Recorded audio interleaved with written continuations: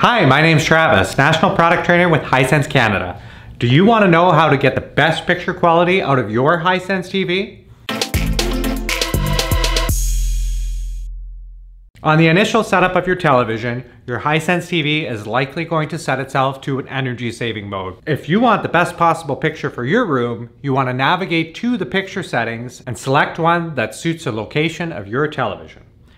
To do this, you simply take the remote, head over to settings, scroll down to your third option picture, click on that, and you can see our Hisense TV, it's set to home mode and it's immediately set to energy savings. So let's say you have a very bright room, you might want to set your picture to something like vivid. And when it's late at night and the lights are out, you definitely don't want your TV in torch mode hurting your eyes. So that's when you're going to navigate down to a theater mode. So using the preset picture modes on a Hisense TV is going to guarantee you get the best picture possible no matter where you put your television.